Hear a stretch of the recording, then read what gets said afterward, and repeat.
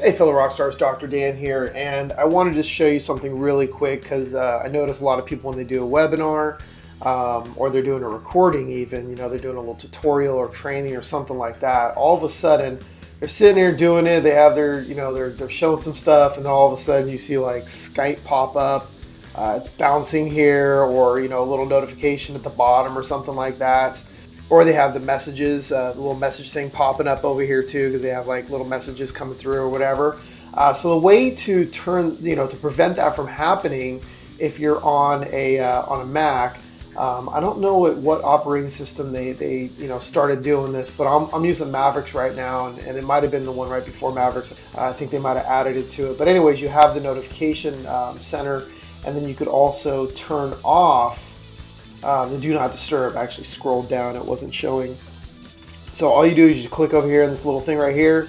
Um, I had to scroll up a little bit because for some reason it wasn't showing. And then I just select on. Now I actually have uh, mindset. So when I turn it on, it only goes on from a certain time to a certain time. Um, so you can actually change that right here in the little sprocket thing.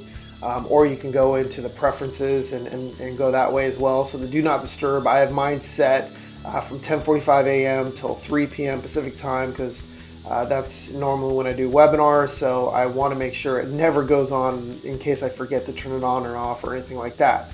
Um, so you could even, uh, you know, just you don't have to use the timer. You just unselect those, and then you wouldn't have that issue. Uh, you know, as far as like if you didn't need those certain times, because you know you never know when you're going to do a tutorial video or something. You forget to turn it on or off. So you just make sure you just turn it on and you shouldn't get any notifications, no bouncing up and down or anything like that. Hope you enjoyed the video. Be a rock star in your business and your life. Thanks for watching. For more tips, training, and free stuff, be sure to go to rockstarinlife.com and join the Rockstar in Life revolution today. Thanks again, and don't forget to Make the world your stage.